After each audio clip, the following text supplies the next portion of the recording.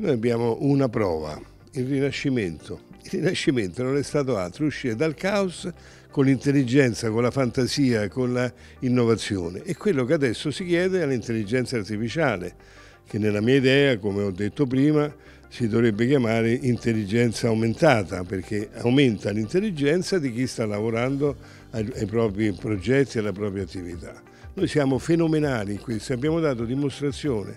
Non siamo un, un, paese ordinato, non siamo un paese cui, a cui si può chiedere di essere molto ordinati, programmati e così via, però siamo un paese fantastico quando ci troviamo in difficoltà. Ora è un momento di grande difficoltà per tutto quello che sta capitando intorno al mondo e per questa innovazione che galoppa, non si va più al trotto come è stata sempre l'innovazione, ma si galoppa e noi siamo bravi fantini per il galoppo. E su cosa deve fondarsi l'intelligenza artificiale per avere successo?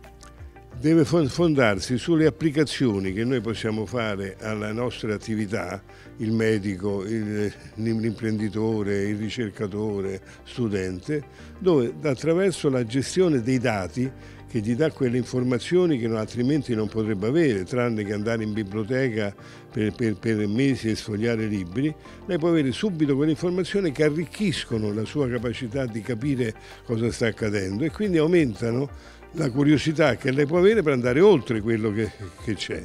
Questo è quello, per esempio, il, il, la, la, professione che fa lei, è questo, capire cos'è il mondo e andare oltre. Se lei il mondo lo riesce a capire meglio e prima, può andare oltre con più facilità.